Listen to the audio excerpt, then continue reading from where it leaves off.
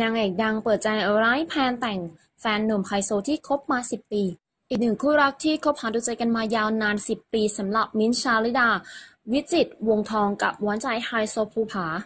เตชะณรงค์ที่ผ่านมานั้นเราจะได้เห็น moment ต่างน่ารักของพวกเขาผ่านอินสตาแกรมอยู่บ่อยครั้ง แม้ว่าจะเจอข่าวลือถูกจับตามองความสัมพันธ์ก็มีภาพคู่ออกมาเรื่อยๆสยบข่าวลือรักกันดีมาตลอดจนลุ้นแต่งแล้วจ้า